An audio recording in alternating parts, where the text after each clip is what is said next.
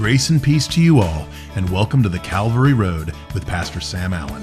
And I think sometimes we're like, well, God's done great things and we've watched it and we've seen it, and then we're just like fearful for whatever reason, faint hearted. And if that's you, and I know it describes some of you, it's your, your, your natural response to, to fear and, and to those who would make you fear. In any case, he's just saying, cheer up, don't be afraid.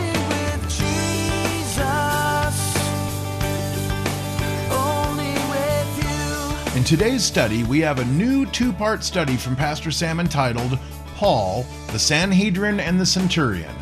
Acts chapter 23 is where we are, and this study covers that chapter in its entirety. Paul is in custody, but this custody is unlike his imprisonments in the past. He is protected against the ongoing efforts of the Jews to kill him. So let's listen in.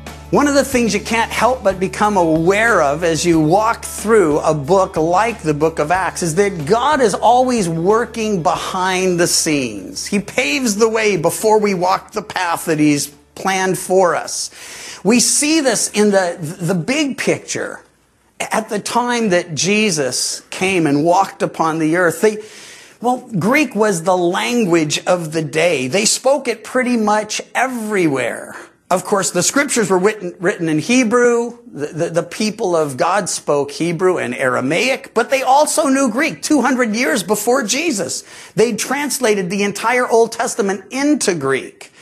And, and so God had given sort of a universal language, much as English is in the world today. He'd also used the Romans. They built the roads that made travel from one place to another far less dangerous than going by ship and and so the gospel was able to get out. There was a common language. There were good roads, at least for the day. And then he takes people like the apostle Paul, adamantly opposed to Jesus and to the idea that he was the Christ, meets him on the Damascus road, turns him completely, transforms him from a persecutor to a preacher and promoter and church planter, a pastor teacher. He's still doing that kind of thing today. Well, Paul's desire, and we looked at this last time, was to share with his brethren, the Jews. He was absolutely convinced, even though God told him, hey, they're not going to listen to you. He was convinced that because they knew him, because they knew he was sincere, because they knew he was a scholar, because they knew him, that they would in fact listen to him. He finally gets his opportunity. He's there just sharing personally and privately. And then some problems arise and is often the case for the apostle Paul. He finds himself arrested. The Romans are taking him up this great staircase and he, he says, Hey, is it all right if I speak to these guys for a moment? And he's given the opportunity. He begins to share in the Hebrew language. Now that silences the crowd and they'd been hostile toward Paul up to this point and and so they're listening, and when he gets to the word Gentiles, they go berserk. They start ripping their clothes. They start throwing dust in the earth, in the air, saying, "Hey, this man is unfit to live," you know. And and so, well, the commander, wanting to know what's up, since he doesn't speak Hebrew, he just sees the crowd again going berserk. And the first, the reason he came in the first place was to rescue Paul and to end a potential riot. Well, he, he says, hey, you know, take him in and scourge him. Find out what in the world's going on. And Paul says, hey, is it legal to scourge a Roman citizen who's uncondemned? See, like our system of justice, you were considered innocent until you were proven guilty. And because Paul was a Roman citizen, he survived not only the arrest and the imprisonment, but he was able to keep himself from this particular time of scourging or beating. Well, in any case, now he stands before the Sanhedrin. He had once been a member of this political spiritual body. These were the religious leaders of Israel. They're made up of Sadducees and Pharisees. We'll see that. We'll see the difference. It's spelled out for us. But he stands before him and no doubt recognizes some of them. He remembers this is the same group that condemned Jesus to die. This is the same group that voted for Stephen to be put to death, Paul being among them at that time. He doesn't recognize the high priest. We'll see that. So Annas is gone. Caiaphas is gone. A new guy, Ananias, is ruling. He is the chief legal and spiritual moral authority in Israel. And that's where we pick up. Paul looks earnestly at the council. Chapter 23 verse 1 said, Men and brethren, I've lived in all good conscience before God until this day. The high priest Ananias commanded those who stood by to strike him on the mouth. Then Paul said to him, God will strike you, you whitewashed wall. Not exactly, Father, forgive him. He knows not what he does. No, Paul was a passionate person and, and all he's doing is he's responding to the injustice of being smitten, though he hadn't been convicted of anything. He's expecting these guys to do the right thing. And one of the ironies of this time in history is, though the Jews hated the Romans, the Romans were actually living in accordance with their law. The Jews were out of control, as we'll see in the passage. So anyway, Ananias commands him to be struck. Paul rebukes Ananias and says, you're going to get yours, dude. And then he says, you sit to judge me according to the law? And do you command me to be struck contrary to the law? Those who stood by said, do you revile God's high priest? Paul said, I did not know, brethren, that he was the high priest, for it is written, you shall not speak evil of a ruler of your people. Now, there's no punctuation in the original, so we can't know how Paul actually said this. It's possible that he said, I didn't know he was the high priest. Why? Probably wasn't decked out in his garb that would set him apart. Paul didn't recognize him, obviously. But the point is, he goes from demonstrating his passion, his aggression, his intensity, which many of us can relate to, to, to showing some prudence. He realizes, okay, well, if he's the high priest, I shouldn't have spoke evil of him. He's actually apologizing for that. And then he quotes the scripture. You shall not speak evil of a ruler of your people. Now, because we want to make sure we have something to take home and apply, we're not just trying to gather information, we're trying to be transformed by that information. Well, here's a principle. We're not to speak evil of our rulers. If you can't find something to appreciate about the man, you still have to appreciate the office that he holds. And this is certainly true in politics and realize these guys were both a religious and a political body. They were functioning as both.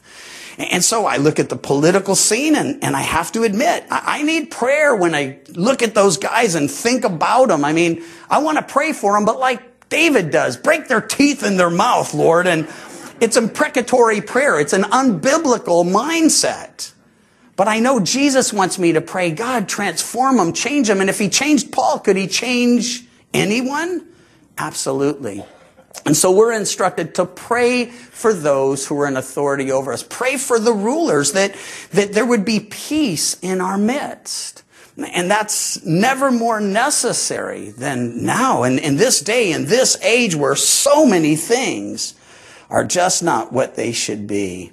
Well, we see his passion in his rebuke. We see his prudence in his apology, and, and then we see his wisdom here in verse 6 when Paul perceived that one part were Sadducees and the other Pharisees. He cried out in the council, Men and brethren, I am a Pharisee, the son of a Pharisee. Concerning the hope and resurrection of the dead, I am being judged. When Paul later writes, all scripture is given by inspiration of God and is profitable, he tells us how it's meant to profit us and he says, for doctrine. It tells us what's true, what's right. And here's the doctrine of the resurrection. Not just the resurrection of Jesus, but the resurrection of the just and the unjust, that all of us will face the Lord after the resurrection. We will either stand where our works are tried and judged and we're rewarded, or we'll stand and, and hear those words, depart from me. And you want to make sure that you're ready to, to be a part of that first group. No unbelievers in the first resurrection, no believers in the second. And so you want to be a part of the first. Well, in any case, he says, I'm a Pharisee, son of a Pharisee. I'm being judged because I believe in and preach the resurrection. And then when he said this, a dissension arose between the Pharisees and Sadducees, and the assembly was divided. For Sadducees say there is no resurrection, no angel, no spirit. That's why they are Exactly. That's why they're sad, you see. It's how we remember the difference. And if you're newer to us, now you see how many people know. It's important. These guys were the materialist of their day. If they couldn't see it, they didn't believe in it. If they couldn't touch it, they wouldn't embrace it. So, so they're saying, we don't believe in the resurrection. We don't believe in these angels. We don't believe in these spirits. No, it's all about the now, the physical, the material, the temporal. Many people like that today. And then the Pharisees, they're the other group. That was the group that Paul came from. And, and, and well, they're very conservative. They don't just believe some of the word, they believe all of the word. They don't just study parts and pick and choose, they believe it all. They had their problems too, though. They were doing the right things, but Jesus says of them, their hearts were far from them. They were going through the motions. It's not that they were all playing a part. They thought what they were doing was enough to please the Lord. But the law that was meant to convict them and us of sin well, they were thinking, well, I'm keeping it. That's why Jesus had to redefine it or clarify it.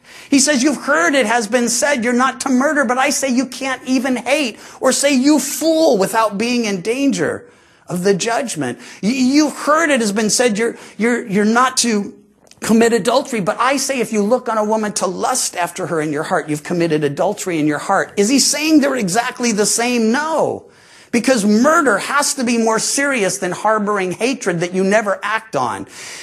Then uh, adultery has to be more devastating to the family and to you and to the community than, than, than having lust in your heart that you never act on. But what Jesus is saying, just because you never committed the act doesn't mean you're off the hook.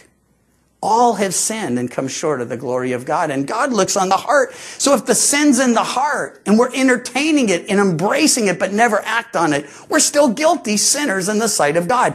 Why is he saying that? He wants everyone there to know they're guilty. That there are none who are righteous. No, not one.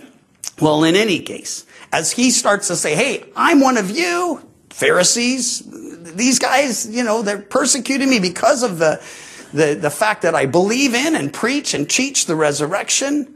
These guys are divided. The Sadducees say no resurrection, no angel or spirit, but the Pharisees confess both. There was a loud outcry. We read verse 9. The scribes of the Pharisees' party arose and protested, saying, We find no evil in this man.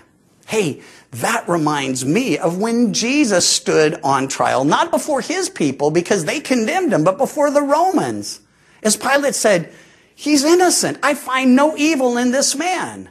Nevertheless, he sent him to his death. They go on to say, if a spirit or an angel has spoken to him, let us not fight against God. Now, this is wise counsel.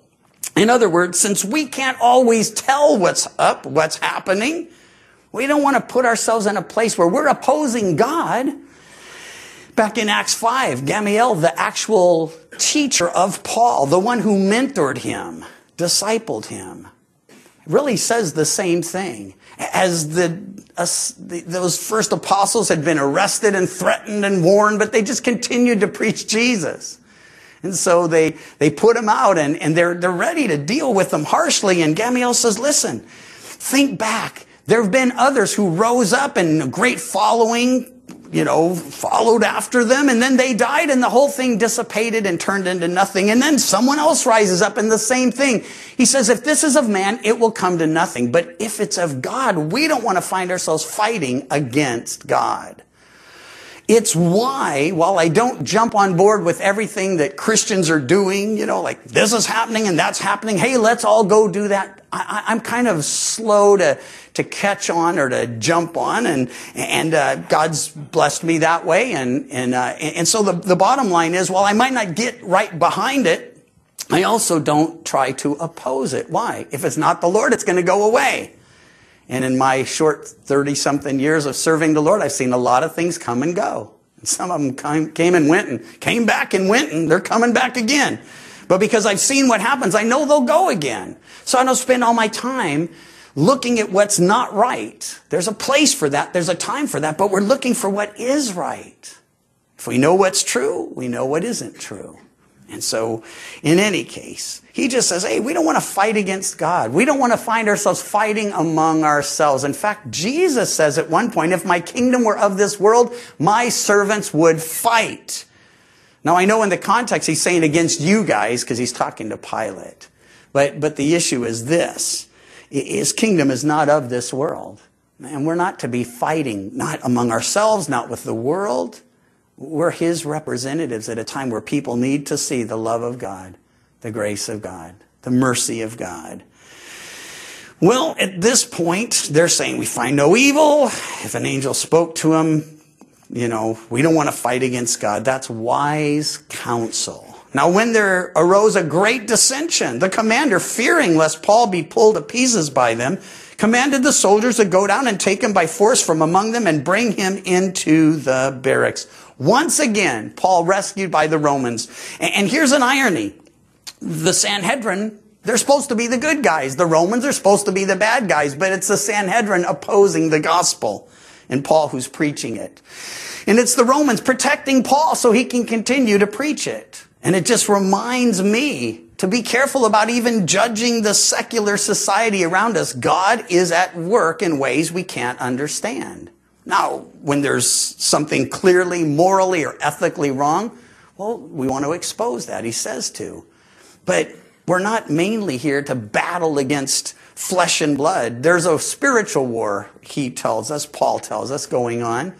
We're wrestling against principalities and powers and spiritual wickedness in high places, not our brothers and, and not those who've yet to come to Christ. It's the system and the philosophy that opposes Jesus, substitutes something for him that we're to be at war with. Well, again, they go down, they bring him in, they take him by force, they bring him into the barracks. Now, the following night, the Lord stood by him, verse 11, and said, Be of good cheer, Paul, for as you have testified for me in Jerusalem, so you must bear witness at Rome. We see this again and again. Jesus confronts Paul on the Damascus Road. He shows up in person. The result, Paul is converted. Jesus shows up to comfort and encourage Paul in Corinth. Why? Because Paul's afraid and he says, don't fear, I have many people in this city. He means those people who were going to come to Christ as Paul would stay there and preach the gospel.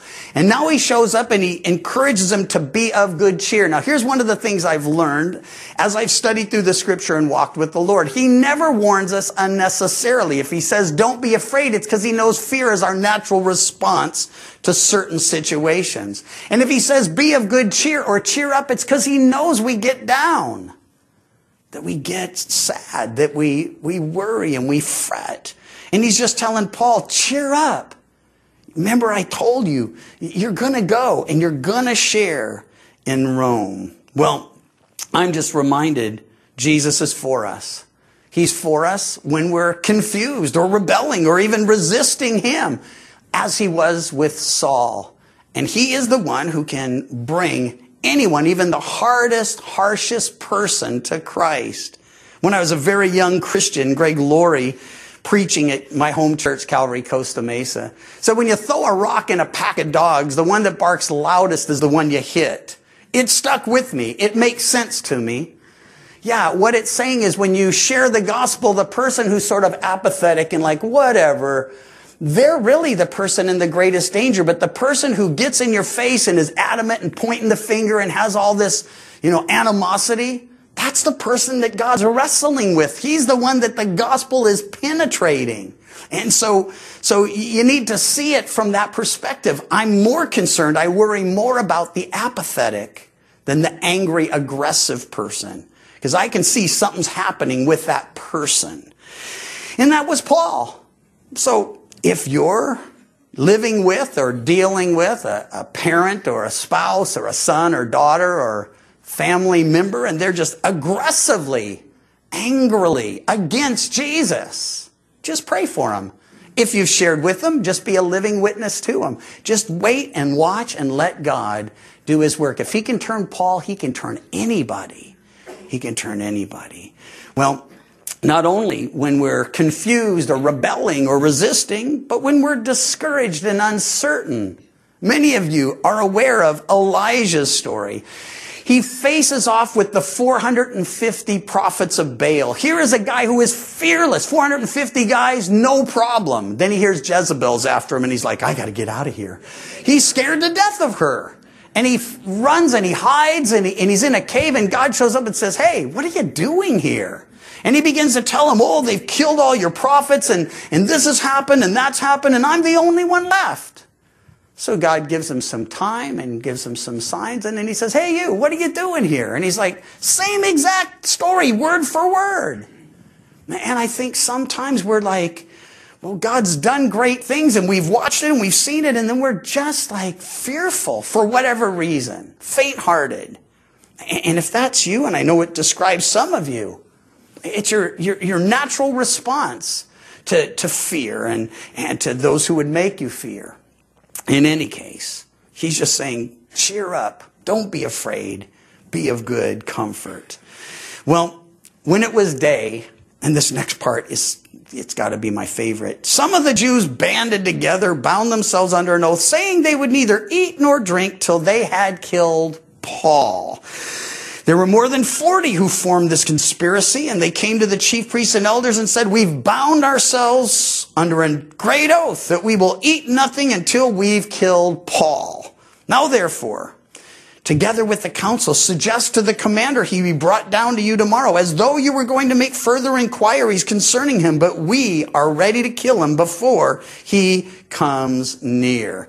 Take note, this is one of those well, you know, there's, there's some scripture that's good for doctrine. It tells us what's right. And then there's some that's good for reproof. It tells us what's not right. And, and here's something that's just not right. They make a very foolish oath and then they add to their foolishness by boasting about it. So let me encourage you. Don't make foolish oaths. In fact, Jesus gives some very good instruction in this area. He says, don't swear by heaven. It's God's throne nor by the earth. It's his footstool. Just let your yes be yes and your no be no. In other words, be a man of your word, a woman of your word. Don't be swearing you're going to do this and swearing you're going to do that. I believe this applies to New Year's resolutions. At least in my personal experience, they're easier to make than to keep. And don't you feel horrible two weeks in or four weeks in or the very, you know, strong among you two months in and you're like, oh my gosh, I forgot I was going to always do that. Don't say, I'm going to always or I'm going to never. Because inevitably, you're just setting yourself up for a fall. Jesus says, don't even make oaths. Now listen, oaths were never required, but if they were made, they had to be kept. And while we're not under the law, I would think that principle applies. If you promise God something, then He expects you to make good on the promise. Why? He wants you to be a man or woman of your word. So better not to make the promise unless you can keep it. Now, if you've surrendered your life to Him, you've called Him Lord, in a sense, you've made a promise. I'm going to live as if you were Lord. Save me, Lord, and, and I'll serve you. We need to make good on our part of that agreement. As we see these Jews making these ridiculous vows, these vows to kill Paul, we can ask, how on earth can those people reconcile their violent hatred towards another man and their desire to do something in killing him that God has expressly forbid them from doing? Now, I can't pretend to understand their mind behind this, but I do want to string a couple of verses together that might shed some light on this type of behavior for you and I.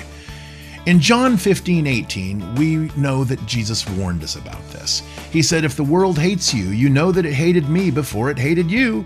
If you were of the world, then the world would love you. Yet because you're not of the world, and that I chose you out of the world, therefore the world hates you. So why does the world have so much hate for Jesus? Well, in Romans 5:33, Paul reminds us that Jesus is a stumbling block and a rock of offense to them. Why? John 3:19 tells us why. It says, "This is the condemnation, that the light is come into the world, and men loved darkness rather than light, because their deeds were evil." For everyone practicing evil hates the light and does not want to come into the light, lest his deeds should be exposed. The Calvary Road is a ministry of Calvary Chapel Chico, and you can visit our website, ccchico.com, or download the CC Chico app to contact us and listen to other studies from Pastor Sam. You can also listen to The Calvary Road as a daily podcast by visiting thecalvaryroad.com. We'd love to hear from you, and until next time, may you find grace and peace as your journey takes you down the Calvary Road. And your grace